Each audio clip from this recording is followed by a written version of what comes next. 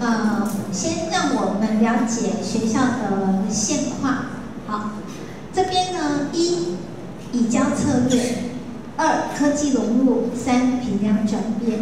以教策略的意思就是，待会如果呃你在你的学科当中已经有带入教孩子策略方法的话，那就是帮我按一下。我们的选项会有一二三四。一二三四，一四分就表示是我在我的学科教学当中已经很常教孩子所谓的方法了。那一分就表示是可能还没有，才刚起步，这样可以吗？一二三四四分就是最高。那什么叫做教策略呢？我就说一个小例子，像呃，我有一次啊去学校。教学的时候，其实我有时候都会去上一堂课给老师看一下。那不过呢，呃，大家都知道我的教学不见得有示范的功用，但是一定有鼓舞的功用。因为如果连我都可以教，各位学长，你一定会教的比我更好。那如果要看示范的话，就要看东菊老师、看小花老师他们的教学了。好，那教学现场呢，我也常常会鼓励孩子问我问题，因为我都想要收集大家的困扰。才会知道我们在推动计划还可以怎么做。那有一次小孩问了我一个很可爱的问题，他说：“欣欣老师，我们老师都说看文章应该要多看一眼就要能够看出重点，所以他就问我说：那请问那一眼要看在哪里？有没有那一眼？有哦，猜猜看，那一眼，当你拿到一篇课文。”第一眼就可以看出重点，那一眼要看在哪里？标题或是课名。尤其是我们的教材常常明明明明白白的指出了作者的观点，有没有？那一有一篇课文，我自己很喜欢，文章的标题课名叫做《处处都是美》，所以这篇文章在讲的主题就是美，它作者的观点就是什么？都是美。那或者是翰林有一篇课文，那个教材是东菊老师帮忙设计的，课名叫做《小河豚学本事》，你就知道主角是谁，小河豚，然后他要做什么？学本事。你有没有发现我们的课名就是非常的清楚？但是呢，如果我们常常看课外读物，你就会发现书名不见得有明显的观点。因为呢，很多的呃文学作品，它常常是用主角的名字当做标题，有没有？其实是都是我们国内才做调整哦。像之前不是有一部电影叫做《阿甘正传》，其实在英文它的电影的名字就叫做《阿甘》，可是我们就要把它写成《阿甘正传》，这样才知道这是一个人的传记嘛，对不对？所以呢，如果我的标题不明显的时候，那请问？第二眼可能可以看哪里？才就可以看出重点。猜猜看，第一段跟最后一段，我们的教材就是这么的单纯可爱，明明白白的都指出了重点，对不对？好，所以呢，你再举个例子，我今天社会科是不是有很多层次的标题？或是社会科跟自然科有没有图跟表？不是插图哦，就是有一些的图示、流程图。或者是有一些表格整理讯息。如果我有教孩子这些方法，今天我上的这一堂课叫做“小河豚学本事”，我有教孩子怎么第一眼看课名看出重点。下一次他再拿到一篇文章，他就知道他要留意课名，这样子才叫做有教孩子方法跟策略。所以呢，最简单的一个测试是什么呢？很多老师他都说我有教，可是为什么孩子的表现跟我的预期有一些的落差？所以呢，我想知道孩子到底有没有学到，就是让他有一个小小的评量，或是让他自学的时候，看看没有大人在旁边赢家的引导，他还会，这才叫做我有教策略了，可以吗？好，好，无论你在国语学科还是社会自然，反正只要有的话，那就是。移交策略一二三四分，来，现在呢就是第一题，好，移交策略一二三四分，来，请反应。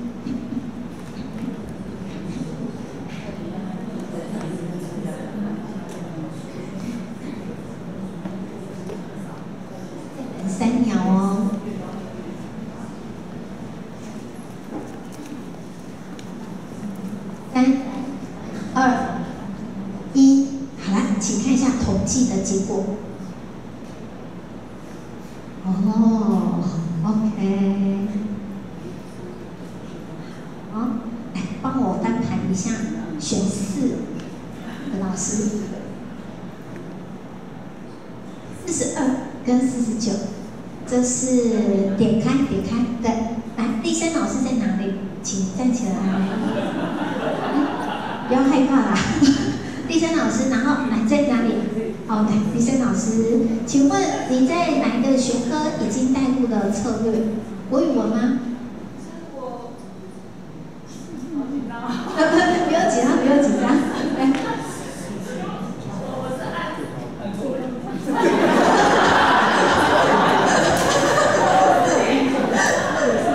啊，我只是连接到我每次都教他们怎么样考试的技巧啊，就是删去法，或者是那种。嗯，反正我我觉得在上课的时候，我会教他们一些一些策略啊，但是我不知道是不是你讲的那种，就是考试的技巧啊。如果你是会的话，你要怎么去去找出答案应该是接近于是是是，OK，来，掌声谢谢立生老师。来，再来呢，美华老师。老师，我自首，我听错，我以为四是完全三个都没有。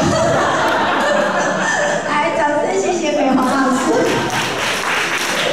那老师别紧张啦，其实哦，呃，第一个是你看这个方式是不是就可以让我们看见每一个孩子的思考？第二个，我请选四的老师来分享一下的意思是说，让我们越了解我们，哎，各位老师，你要把它想成是我们是相互合作。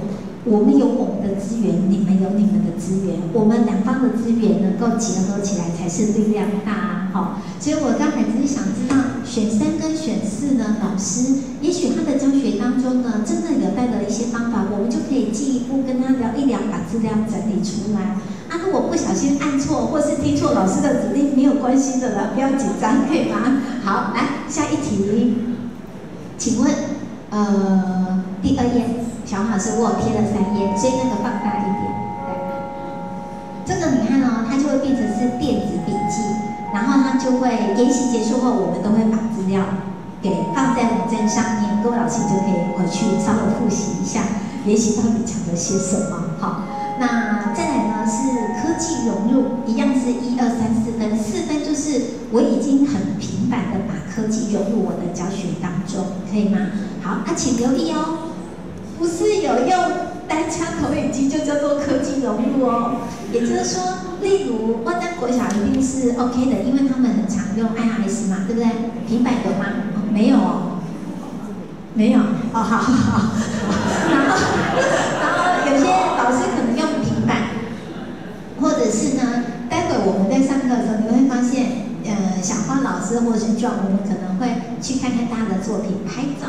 因为呢，有一个软体，只要我下载 APP，然后我们有智慧型手机。当然，如果你没有智慧型手机，就完全没有用了哈。那我今天拍照孩子的作品就可以传上去，有一个视觉的焦点，方便大家讨论。类似这样，或是说，呃，你有用其他的软体，不见得要用的是网易的软体，像有些老师会用苏格拉底呀，有没有？好，或者是呃。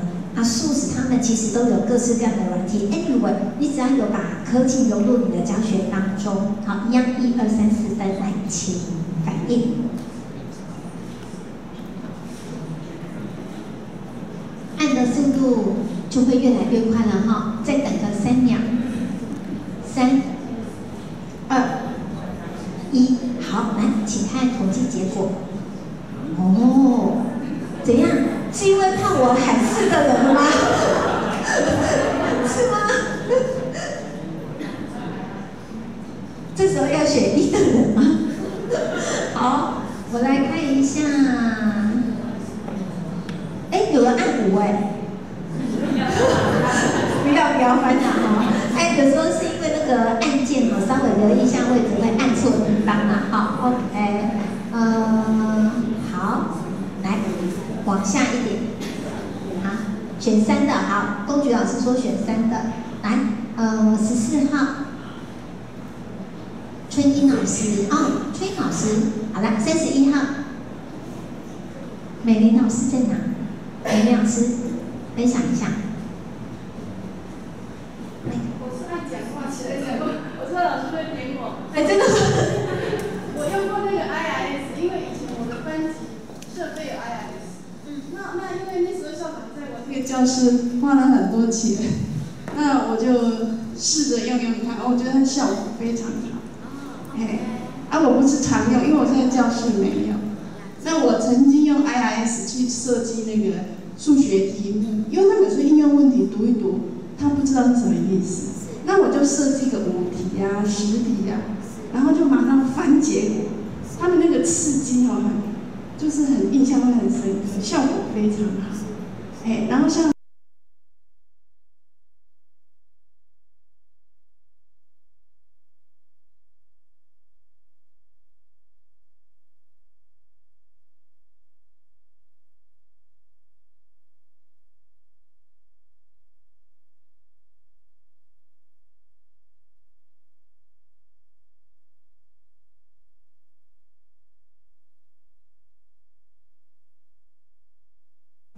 谁比谁少多少啊？要算说，哎，讲数是多少？用这样的题目去设计。然后有些小孩子哦，他写他写出来哦，他的答案错了，全班都对，只有他们两个错，那印象就很深刻。我会马上下去寻答案，那那个效果我有发现非常好。OK，好，谢谢。好，来，那接下来呢，来看的是，呃，如果呢，就是教学已经转变了，好，那评量有没有跟着转变呢？一样，一、三、四，来，请反应。评量的转变的意思是说，我现在考的哈。假设我今天教，我今天的考卷不见得是考已经教过的内容，我也许会再找另外一篇文章来测试孩子到底有没有学会。因为呢，什么叫做真正的学会？就是遇到一篇新的文章或是新的题目，他还会，这才叫做学会嘛。要不然有时候他就是考他的记忆力而已呀、对不对？好，来，一样，一二三四。哦，OK。好，谢谢各位老师。那接下来我就知道我们这两天的研习焦点要比较放在哪里了哦。OK，好，那现在的时间是几点？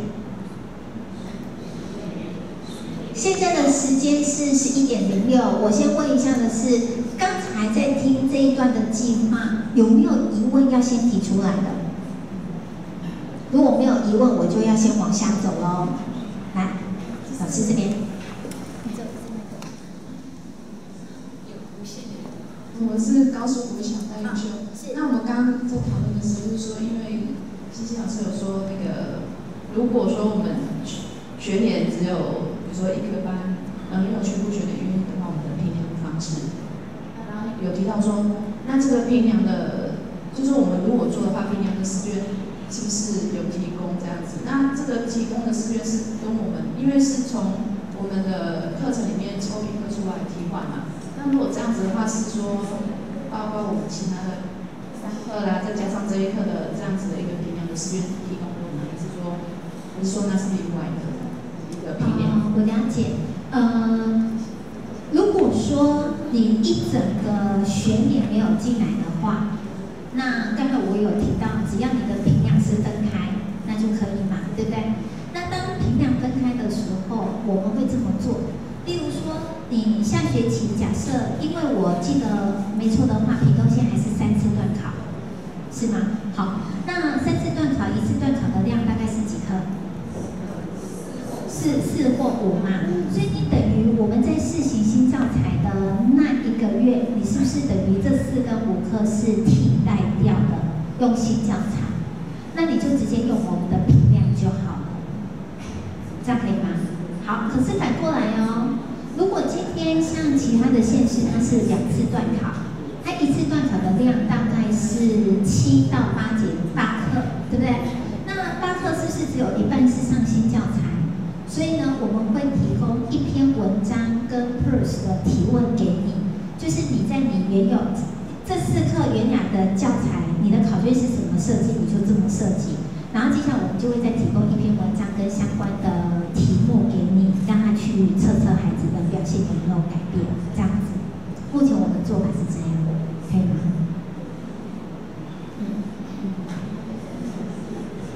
好。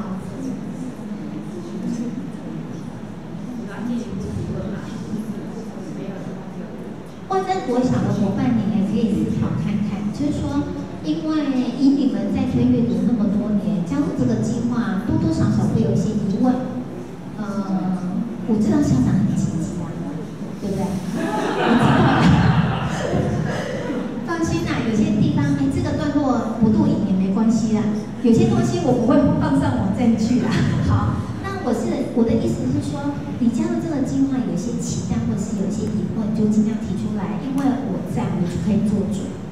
即使是我这这也是我跟你们处长的稍微有点协议，我跟处长说，很多事情千万不要强迫，强迫对我们彼此不会有好处，因为你花了时间，我们也花了很多时间，那我们的资源是有限的，我们可能要把有限的资源先。放在已经准备好跟我们一起前进的伙伴，那其他的伙伴可以用自己的步调来前进，就是缓一点点也没有关系。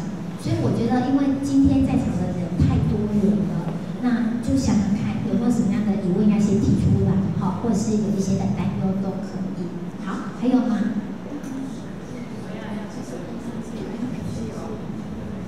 然后别担心，不会只有你的问题而已。因为有时候提出来就是大家多数都有这种状况。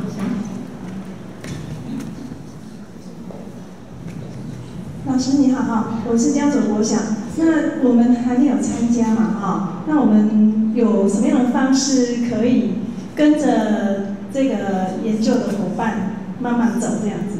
比如说旁听啊，或者是参加你的什么样的呃一个分享之类的？好，谢谢。好，谢谢老师。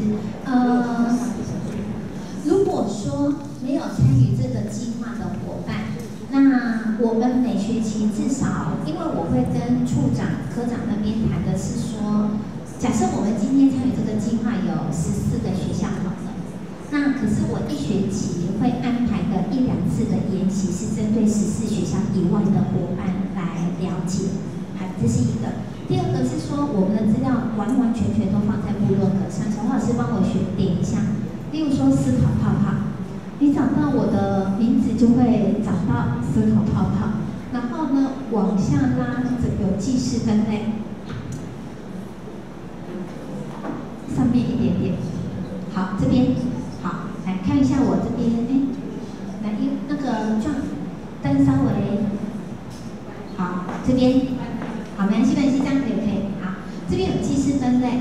好，那往下，这边呢，呃，有很多的。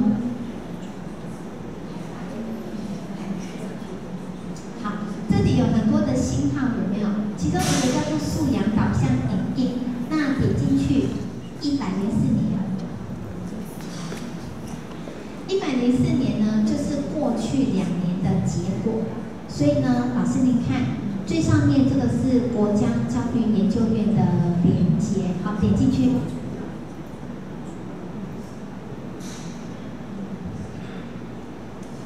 啊，网络跑不动了吗？好，这个就已经是我们公布在呃国家院网站上面的猫头鹰小学堂的课本，低中高课本习作都有。好，那回到刚才的上一页。如果您拿到教材，想知道，像今天我会带着大家来看一下我们设计的教材的特色，然后再来是真的，好，譬如说点进去，您会看到的是，呃，下午东学老师要带着大家做共同备课，这边会有一支影片，二十分钟不到，然后旁边有 PPT，这边有 FB，就是共同备课的流程，啊，东学老师会带着我们走过一遍。接下来是相互观课的流程，呃，小树老师会带着我们走过一遍，好，然后再是刚刚不是说教学小诀窍，时间不够该怎么办？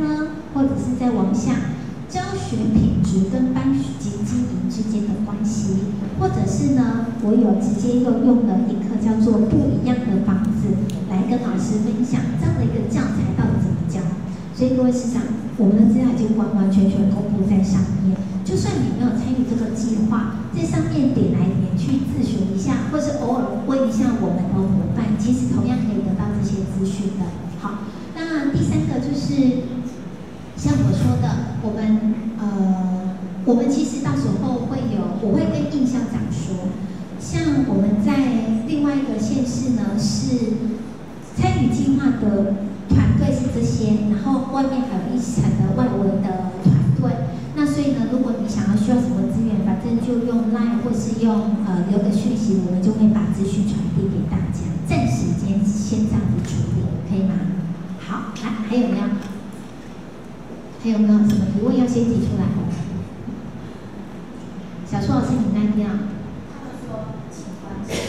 啊？怎么？怎么？静观其变，哦，好，那这边呢？有没有？没有，没有吗？好，那如果没有的话，那我们就往下喽。好，好，这个段落呢，有录影了嘛？对不对？好，这个段落呢，呃，因为时间的关系，我把东角师的共同备课放到下午，比较有一个完整的阶段，就是下午东菊老师跟小树老师带着我们走。那接下来我们就来看的是刚才那一张图，十二年国教要带起孩子自动好的那一张。好，第一页，对。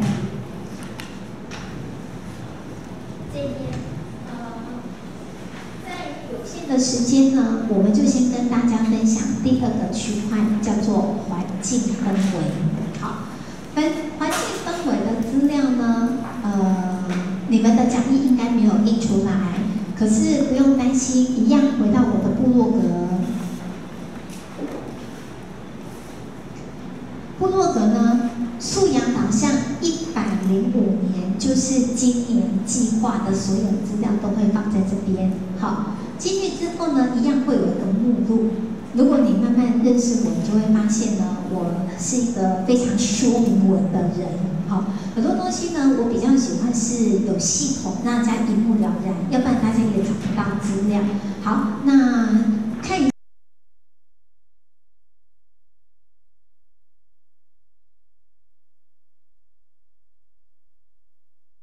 平凉环境氛围，然后日后屏东县的资料就会放在这边，县市学校屏东县。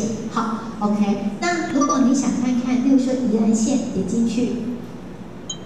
我们呢，每一个辅导老师呢，这是他们之前的启动的仪式跟真人。那往下看，我们每一位老师进去辅导的时候，这边都有做辅导的记录，所以有时候你就直接到这个部落格去看看资料就好了。好，那接下来我们来看一下环境氛围。环境氛围哈，它有两个部分要去处理。第一个呢，叫做环境布置，这边不用点没关系。好，来，呃，好，这样子看一下，看一下知道资料，知道资料在这边就好了。那环境氛围呢，要处理两个部分，一个部分是环境的小小的布置，例如呢，各位师长，你看一下我们的左边前后左右，是不是有所谓的小猫头鹰的海报，对不对？好那为什么这么做呢？因为每个段落结束后，我会请大家写收获、疑惑跟需求，用三张不同的便条纸。那三个颜色，三个颜色，收获、疑惑跟需求，待会再组长发下去就好了。那所以呢，收获的意思就是今天这个段落有让我多知道了些什么，就把它写下来。那记得签名，好，因为呢，你贴上去，我们拍完照，其实到最后资料你还是会自己带回去。它有一点是笔记，但是为什么用便利贴？是因为我们集结众人的力量来写下我们自己听到的重点收获。那疑惑的意思是，也许我今天讲的概念跟您原有的概念有一点点冲突，但是我们没有时间讲完整。所以在您的脑中就留下一个问号，那就把它写下来。或者是呢，你的一个疑惑呢，也许我们不见得这两天可以立即处理，但是我们回到台北，我们就会把资料整理一下再挂上去。好，所以这是第二个疑惑。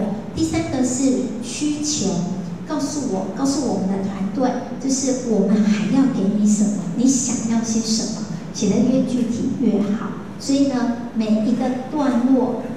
结束的之前，我就会请大家用文字整理一下收获、疑惑跟需求，可以吗？好，那另外一个呢，看一下 Word 档，我写下了四个词。好，请第一页，请各位老师帮我把第一排字念出来，一二三起。这四个语词的意涵一不一样？不一样嘛，对不对？好，我们呢？常常在研习的时候我觉得一直听人家说话是一件很辛苦的事情。那所以呢，呃，有时候就是我们讲一讲，换你们讲一讲。但是你讲话的内容要跟我们的指令有关才可以哦。好，除非我觉得我们我们除非我们讲师觉得大家累了，我们就会说好吧，我们来聊聊天吧。要不然呢，通常我们下的指令就会是分享、讨论、重述。分享的定义是交流彼此的想法，讨论比分享要要求多一点点，至少要做三件事：一、交流彼此的想法，整理想法的异同；三、同整归纳刚才讨论的结果，可以吗？三件事：一、交流彼此的想法；二、整理想法的异同。三、同整归纳讨论的结果，请留意，同整归纳讨论的结果不是要有共识，很多事情很难有共识，尤其是在遇到教学的困扰的时候，你怎么做，我怎么做，我们讨论完要稍微做一点点的收尾，要不然有时候呢，讨论了很久，也不太知道刚才讨论到底还留有些什么，所以呢，要同整归纳一下刚才听到的做法。这样子才能够整理出视情况而定的具体的方法，对不对？好，第三个重述呢，我很建议老师试试看。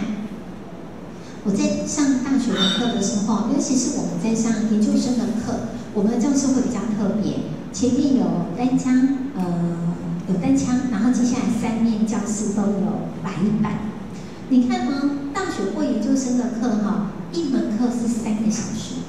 我们口语传递讯息的量非常的大，所以呢，我就会习惯把上课的关键词有方向的稍微写下来。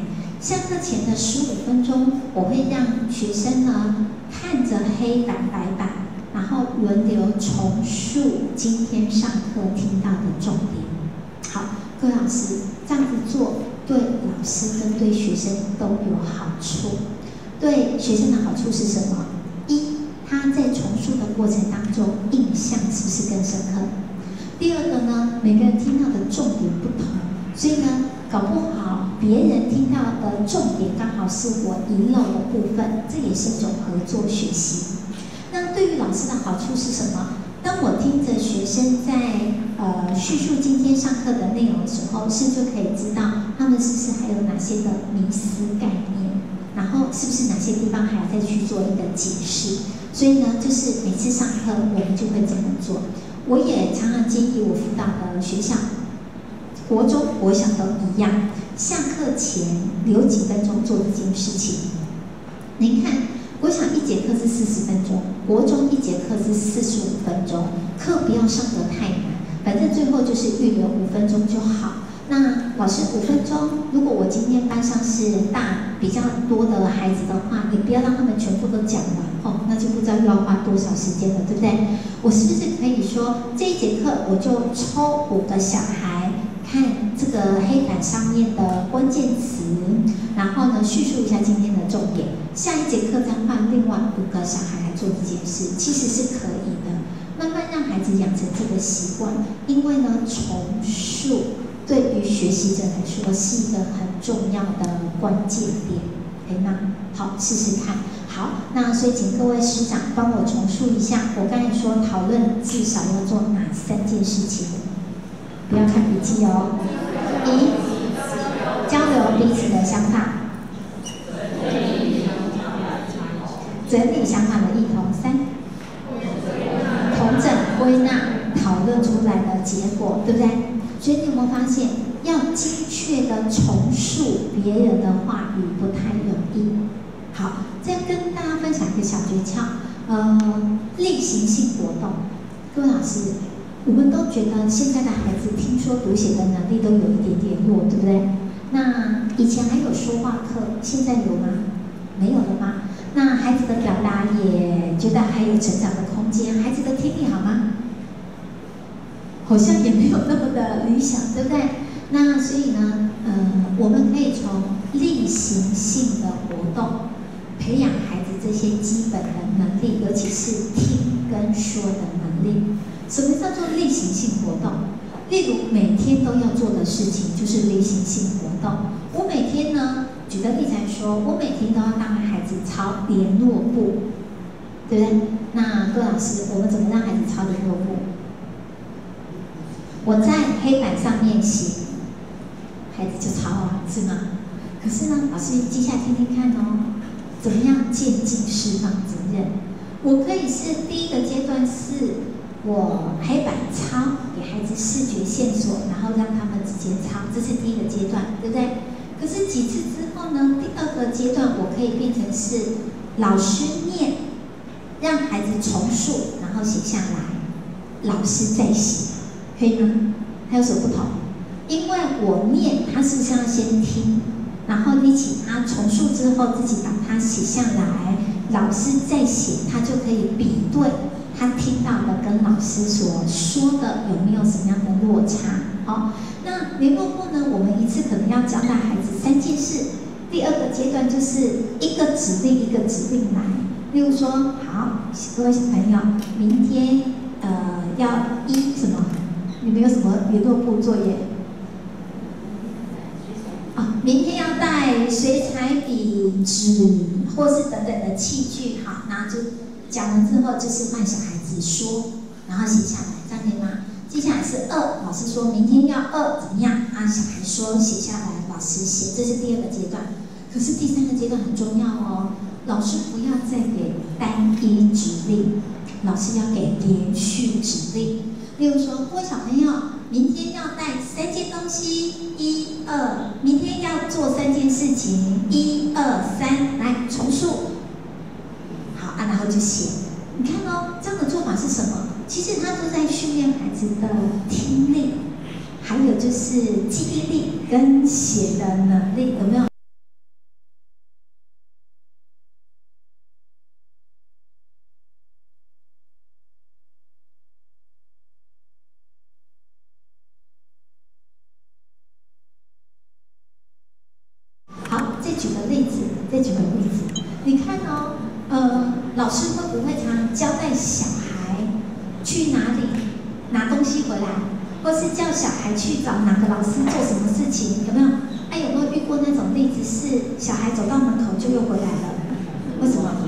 忘记了，所以呢，你看，如果我们做这件事情，不要每次都交代班长，因为他只会让那个班长能力越来越好。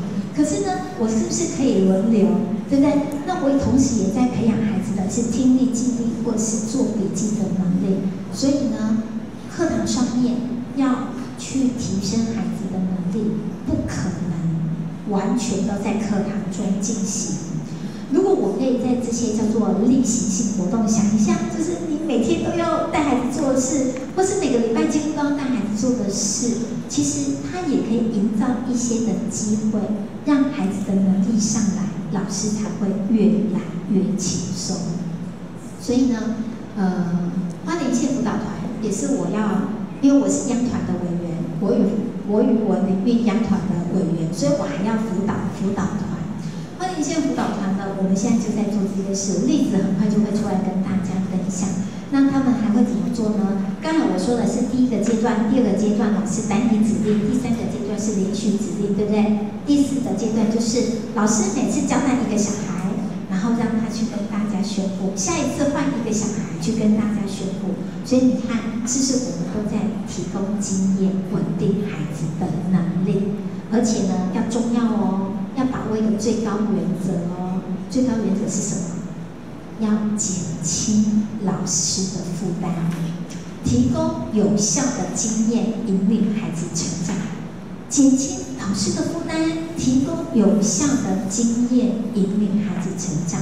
所以，如果一开始我们请老师做什么事情，其实就是希望老师能够先示范，示范完之后就要放手，让孩子做做看。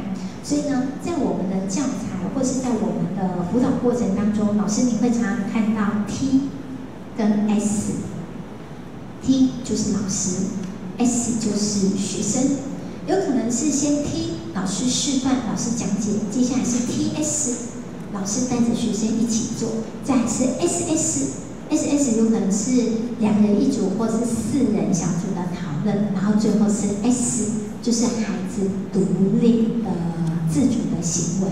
我们都希望能够走到 S，只是要从 T T S S S 到 S，他没有办法一下子就到 S 的这个部分。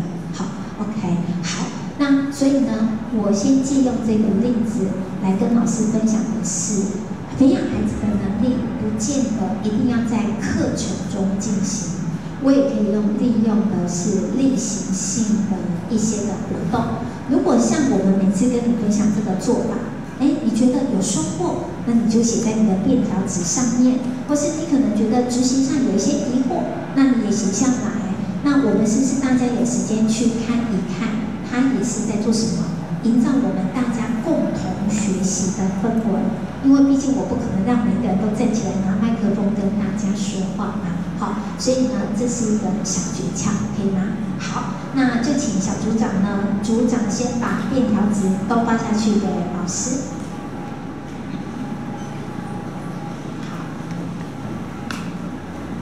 收获就疑惑就粉红色，好不好？然后收获就蓝色，蓝色是收获，然后粉红色疑惑，绿色是需求。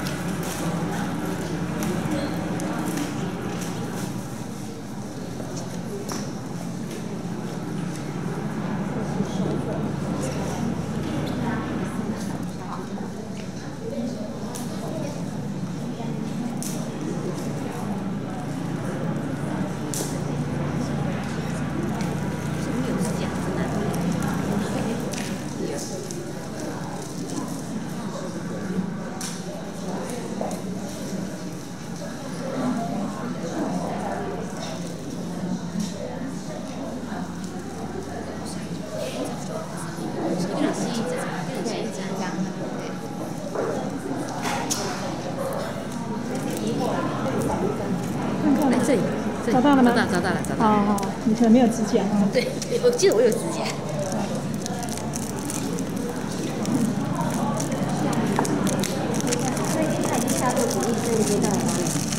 谢谢，谢谢。一个一张吗？一个一张就好，一张。你先留着，来，先留着，留着。呃，绿色两张，谢谢。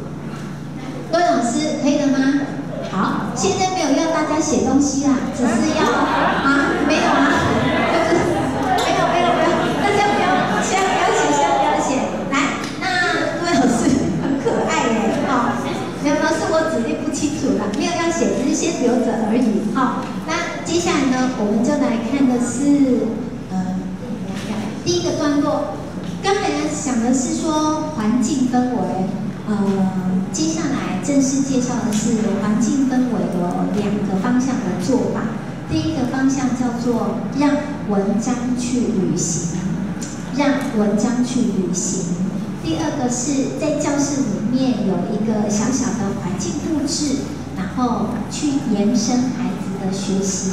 那我就先讲这两个部分。讲完了之后呢，待会我们可以看一下其他学校的做法。好。那最后呢，我就会请大家写下这个段落您听到的收获、疑惑跟需求，然后再贴上去，这样子就可以了，可以吗？好，那请看，我们呢，呃，已经公布在 FB 了。虽然我这边写的是亲师沟通的小诀窍，但是它适用各种的对象，所以呢，例如像。呃，我就会跟校长分享的是，校长如果要跟学校的老师沟通，是不是也可以选到好的文章，就比较不费力了，对不对？所以呢，我们现在整理的文章有给校长主任用的，它的目的就是跟学校的老师做一个交流，但是也有整理二十篇的文章是给各位老师用的，那意思是什么？跟谁交流？跟家长交流，或者是呢，我们现在在推动的是晨读运动，我也可以选二十篇文章让孩子来看。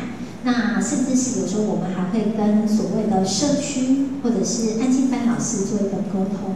Anyway，只要我想要沟通的对象是谁，我选择到适合的文章，那就是一个还比较不费力的地方。因为哈，毕竟我们大家都很忙。我们不太能够花那么多时间面对面沟通，再来是面对面沟通，有时候比较讨论的都是当事人相关的一些的行为，对不对？比如说我们跟家长沟通，可能就会沟通的是，哎，小孩的学习的表现是什么啊？那可是呢，我这边有提出的是三个呃环节，内容、持续、相互是有效沟通的关键。所以呢，让文章去旅行呢，这边我们有几个做法。好，步骤一二三四。步骤一，我们会找一些的文章，可是重点重要的是要画重点哦，也就是我们会用荧光笔画重点之后呢，然后接下来是签名。例如，假如我这个老师呢，我想要跟我的家长沟通，那就是我找到的文章用荧光笔画下重点呢，就签陈清晰。好，那这，还有一张的，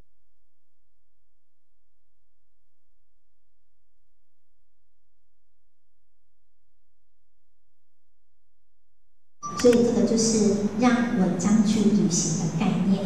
好，那首先呢，我们先看一下我们的资料在哪里。好，来，请看布洛格。布洛格呢，在环境氛围这边呢，老师你看，我们已经把找到的文章清单列出来了。那我们合作的学校呢，我们都会给大家一份完整的纸本。好，那呃，有些地方呢，它有全文档，例如说有底线的地方，表示有全文档可下载。可是有些文章，因为我们还在呃《国语日报》跟《亲子天下》的授权，所以就还没有放上去。不过老师你也可以用你自己的文章，不见得要用我们的文章啊。好，好了，接下来呢，打开的是阅读记录单第一页，好，PDF 档。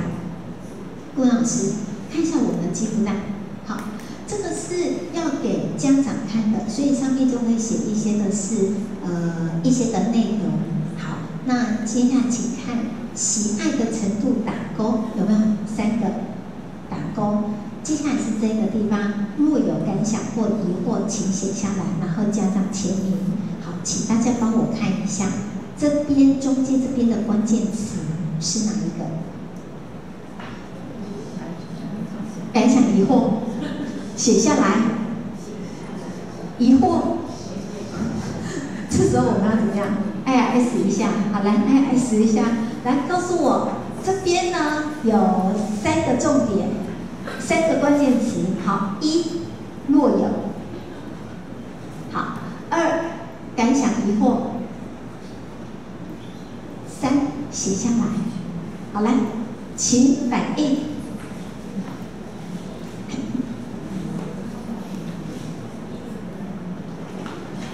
再等个三秒，三、二、一，来，请看统计的结果。好，对齐一下，小老师，对下面，对，对，这样子是很明确的看到是大家认为的重点是在哪里。可是呢，所以你看，我们有时候彼此抓到重点不太一样，对不对？星星认为的重点是一若有。若有若有，回去呢，帮我把那个两个字放大，或者是画一下荧光笔。各位师长，你想想看，为什么我觉得若有是重要的？如果你没有加那两个字，对象可能又会认为这个是一个功课，又是一个负担，你知道吗？那个哈，本来我们是一件美美好的事情，呃，就变成了又是另外一件可怕的事情。上次网络上不是有说吗？任何什么？他的他有句话写说，任何良善的呃建议，反正最后都是走入地狱的，类似这样的一句话啦。所以我的意思是说，各位师长，我其实真的想告诉大家说，这个叫做若有才是关键，可以吗？好，那您看呢？一篇文章加上这张记录单放在袋子里面，我传给第一位家长，第一位家长之后再传给第二个家长。所以我怎么在跟对方沟通？不是只有我透过这篇文章跟对方沟通，有些家长会有一些的回应，他写的回应是是其他人也会看得到，所以我其实是借力使力，一个是文章的力量，一个是家长的力量，对不对？但是真的真的真的，请留意，不要规定，好不好？不要规定。好，那你会不会担心有些家长不不不不太理我们？通常我会安排两个庄讲。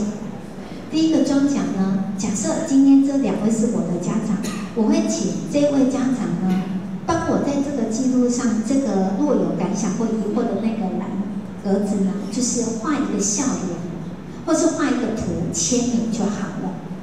第二个家长，我会请他不要写太多，帮我写一句话，千万不要找那种。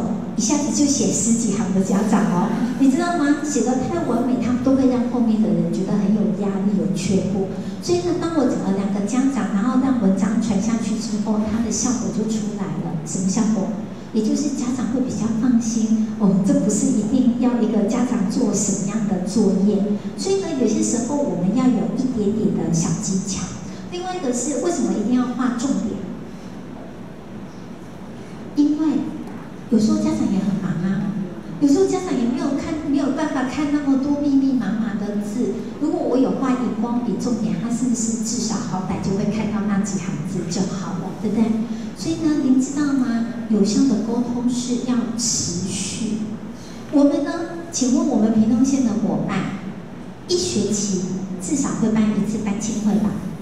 那下学期也有吗？所以两个学期至少办一次，对不对？可是你有没有发现，就算我办了班亲会，讯息出去之后，是不是还是会有很多的家长会一一的来询问？这是正常的。第二个呢，很多的讯息只讲一次哈，人的记忆力是很容易遗忘的啦。所以呢，为什么要持续？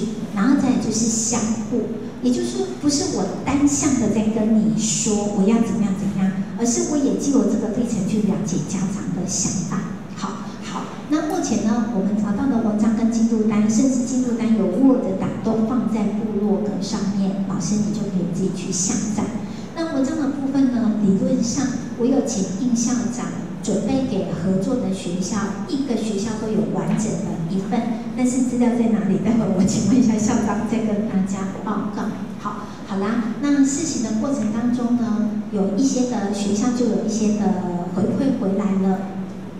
我就分享两个，第一个是偏乡的学校，尤其是宜兰县南澳乡那些的学校的家长，很多都是隔代教养或者是新住民的家长。好，原住民的家长，那回馈就让老师很开心，因为多数的老师都会预设家长不太会理会我们这件事情。可是呢，没想到呢，开了班经会说明了之后，哎，家长的回馈就一一的回来喽。所以呢，还有一个很重要的小诀窍是，文章是要挑过的。也就是说，那个文章是可以感动人。那有一个学校呢，他很可爱，他就觉得我在介绍我妈妈的那一篇文章，他觉得很能够打打动家长的心，所以他就让全校的家长先看那第一篇。果然，其他的家长就会开始回忆起他以前他的妈妈是怎么对待他的，怎么教养他的。那他现在希望自己成为孩子什么样的眼中的父母？所以你看。我们合作学校，他是不是很开心？他就有一个成功感，迈出第一步，有一个不错的回馈，就会再继续往下走嘛，对不对？第二个是呢，有些的老师就说，哦，因为我们选的，猜猜看，《湖北日报》《亲子天下》《亲子杂志》的那个文章长不长？阿阿公阿妈怎么办？两种做法，一种是小孩可以念给大人听，对不对？可是只要念荧光笔就好了。要不然念完整篇文章也已经有一点累了。好，第二个呢，我们就听到老师的困扰，所以我们推出了另外一款，来，请看，这这这这几款我觉得还不错的喽。好，待会再跟大家说在哪里可以下载。好，来，请打开第一个，阅读好处多。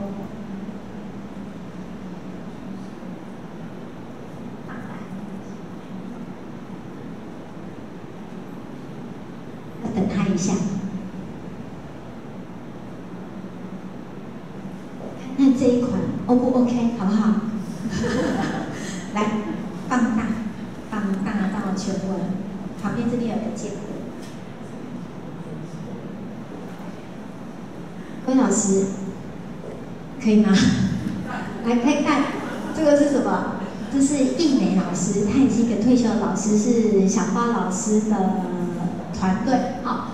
他说：“这是我请我们请他画的，呃，小孩喜欢阅读，长知识，好处多，可以吗？来，第二张帮我念一念。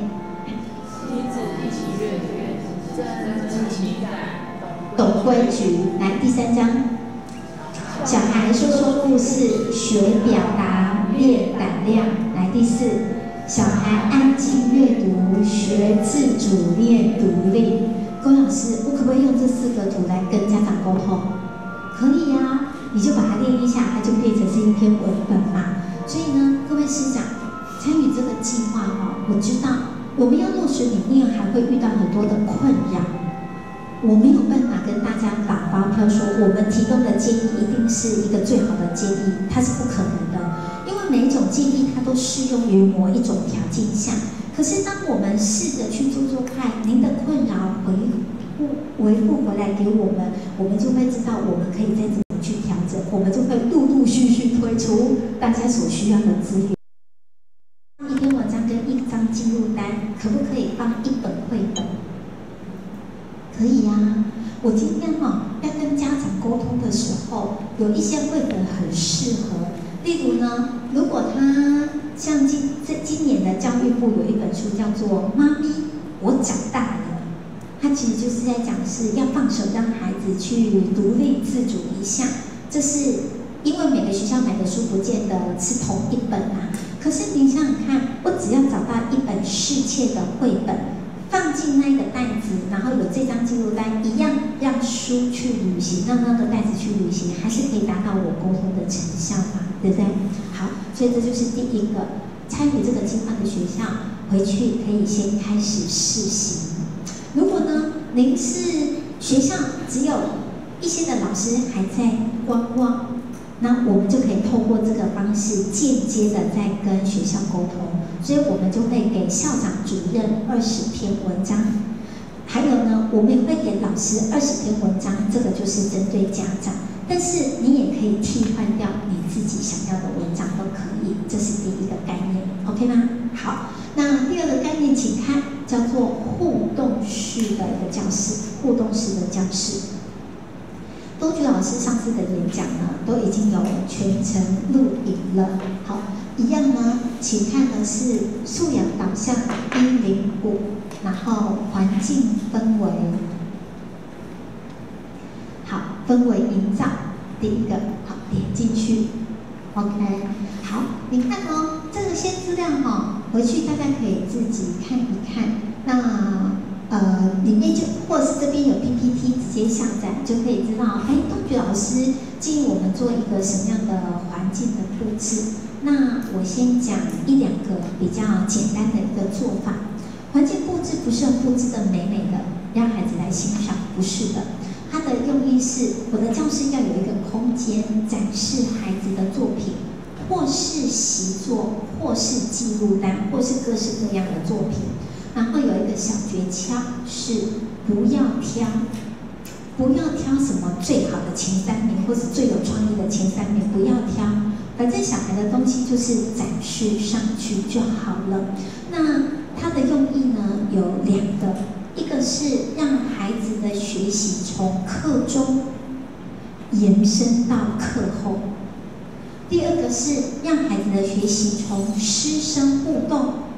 变成比较多的生生互动，所以呢，在我们的新教材里面，要教小孩子亲近他、理解他、运用他。运用它里面有一个步骤是，让孩子去找更多的书来推荐好书。这个就是把课外阅读加课内学习结合在一起。举个例子来说。如果我今天像我们的教材哈，开学的第一个单元呐，通常是什么？长大了有没有？春天呐，或者是呃独立自主，反正都是这一些嘛，或是时间。好，那老师你看呢？我上这个单元四科国语文课共同的单体单元叫做时间。我上的时候，我是不是也可以问问小孩？你看完这四篇的文章？哪一篇文章你很喜欢，想要推荐给别人看，我就可以在我的教室的那个空间呢，有这四篇文章。然后你比较推荐哪一篇给人家看呢？你就在便利贴上面写上推荐的理由跟签名贴上去就好了。我也可以请孩子去找，除了课文这四篇在讲时间，还有没有让你想到有哪些课外读物都跟时间有关？我是不是可鼓励小孩去图书馆，或是把家里面的书带来放在这个教室，然后让孩子去读一读，一样就是写推荐，对不对？这些东西都不见得会用到上课的时间，可是呢，我尽量让孩子的学习有一点延伸的时候，要有一个这样的一个布置，让孩子能够去跟他互动。好，反过来呢，我也可以去想，我的教室到底想要什么氛围？龚老师。虽然我们的教室会搬家，可是至少一个教室我们会待两年吧，对不对？那你就把它想成是，这是我们跟学生共同的环境、共同的家。我想要什么样的氛围？就好像如果我们有机会去别人的家走一走的话，走进去你一定会感受到不同的风格。如果有机会你到我住的地方，你就会发现要跳格子。因为书上都是一堆一堆的书，对不对？可是有些人家就会干干净净的，让你一进去就是整个放松，这就是一个氛围。如果我希望我的教室比较是呃小孩子去抛出问题、解决问题，那我就会有一个嗯思考的空间。每次上课，小孩有很多的疑问，不要讲出来，写下来贴上去。下课的时候呢，大家去看看别的疑问，也许你有不错的方法，你就写建议贴上去。你看，我就用那个的呃空间来培养孩子思考、提出疑问、解决问题的一个小小的方式，对不对？好，或是像我自己记得是高三那一年，课程压力很重，因为要大学联考了嘛。你知道吗？我们那一年哈，我们那一班都是从自然组转为社会组，所以我们的进度就比人家落后很多，那压力又很大。可是我们那一个班级的学习氛围是什么？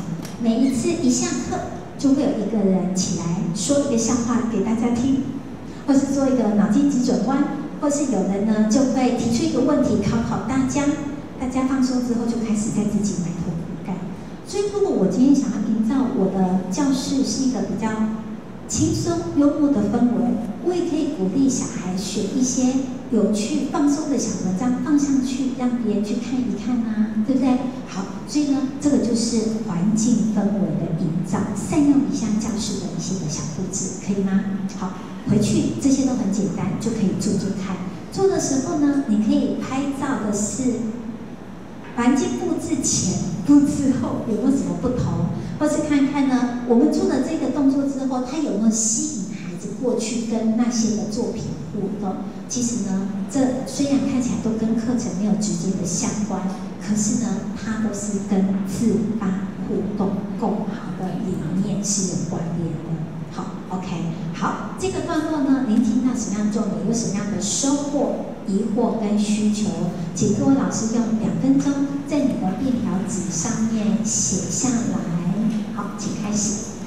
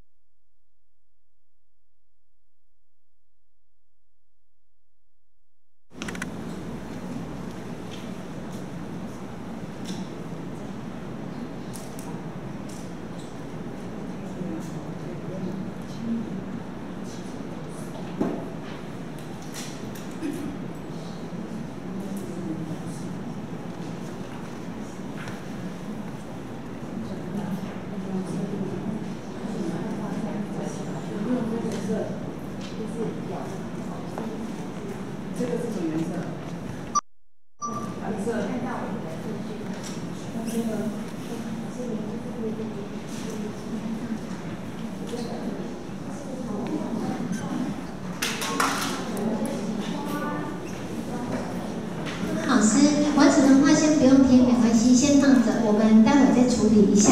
好，好，那在先好，先不用贴没关系，先留在自己的手上就好了，这样差不多了嘛？哈，待会我们会把海报移到外面去，让大家比较方便看，因为这边也不容易走进去看嘛。那在休息之前呢，请大家去这个 FB 按在，做一个设定。例如说，我用这边来说好了，这个 FB 叫做教育部国中小阅读推动计划，呃，这是教育部要我这边做的。好，那小花老师跟我还有墨月老师、玉梅老师呢，我们就很努力的在经营这个 FB，呃，每一次最新的资料都会往上发。那请往下拉看一下，例如说呢，像这一篇文章，刚好我已经有让大家看过了嘛，我就会介绍是这样文章去旅行的小做法，然后往下一点点，你看，这是在上面，小黄老师上面一点，好，这边呢有三篇的 FB 的 po 文，我们其实零零六就介绍了文章旅行，然后呢有一些具体的做法跟一些的实作，那往下看。您看哦，好，慢一点点，这边，这边是什么呢？就是已经试行这些的学校就会在上面分享。有些学校呢，它是做了一点点的修正。举个例子来说，有一个学校他就跟我讲，呃，他要以家庭为单位。是的，因为呢，一个家庭有三个小孩，如果你用小孩为单位，那个家长很可怜哎，要怎么样？看三倍的量哎，所以呢，他就会跟我分享说，他以家庭为单位，而且就是小一老师统一发，哎，我就觉得很棒，对不对？好，或者是呢，您看呢，像这位老师，好来点下去查看更多，好这边，老师就会问的是说，但是有些家长他写的内容，老师要不要个别回复？因为他怕有违比战，对不对？好，往下看一点点。你看我的回复是什么？我我就说，呃，谢谢易红老师的实践，我觉得不用个别回复没有关系。所以呢，善用这个平台，也就是我们不可能每一次都是面对面互动才去讨论我们在试行时所遇到的困难。上去看，你可以看到更多的老师的修正的做法，或是他有一些的疑惑，搞不好也是你的疑惑，他是不是也是一种间接交流的方式？好，所以呢，这一个粉丝页叫做教育部国中小阅读推动计划。如果你找不到的话，一样回到我的部落格，然后呢，呃，往下，记事单内下面有连接书签第二笔，这边点进去就会连到那个粉丝页了。所以呢，这边跟各位师长稍微说一下，呃，资源在哪里，可以吗？好，下午呢，我们呃，我想要明天让大家早一点离开这个会场，所以明天我先说明天下午我预定几点结束，好不好？明天下午我预定呢，最晚最晚就是三点结束。如果可以的话，我们就两点半结束。因为明天下午我比较想要去处理一些是行政方面的事情。好，然后再来是今天下午呢，如果我们的时间稍微 delay 一点，就包容一下我们。因为下午我想要请东菊老师跟小苏老师完整的带完大家走过的是观呃备课、观课到论课的过程。也让大家对我们即将要做的事更有方向，或是更有信心。所以呢，我们可不可以一点准时开始？那如果可以的话，看看能不能三点半，或是最晚三点四十五离开这个会场，可以吗？那一点要准时开始，就要麻烦大家十二点五十五分做定位喽。好，那早上的报告就先到这边，谢谢各位老师。